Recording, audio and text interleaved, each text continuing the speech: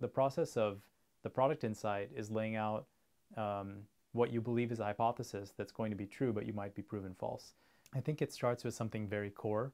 Mm-hmm. The uh, you don't just hire a product manager and have them develop an insight.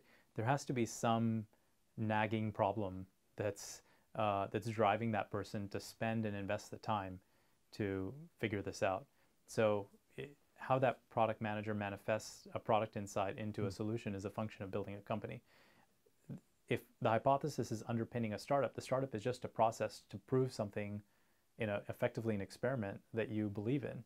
Hmm. Um, and it takes a lot of motivation and energy to you know put your life on hold to go try to solve this problem. It's the reason why you shouldn't start a company uh, for financial motivation. That's really the byproduct of having created value and built something. Mm-hmm. So I think it gets back to the motivation behind the people and are they willing to um, focus on coming up with that insight, especially in a B2C company.